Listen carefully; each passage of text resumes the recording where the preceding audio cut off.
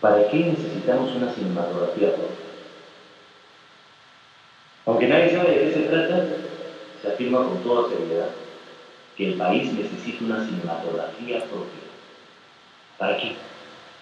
¿Qué cosa es una cinematografía propia? ¿A por las películas que se hacen aquí? ¿Es copiar de mala manera lo que se hace en Estados Unidos, Europa u otros países latinoamericanos con muchísimo mayor calidad? En lugar de gringos, solitos. En lugar de inglés o francés, esa jerga insoportable, que ni siquiera pretende ser castellano. En lugar de actores de insuperable categoría, unos partiquines lamentables que se esfuerzan por exhibir una supuesta naturalidad que francamente da pena.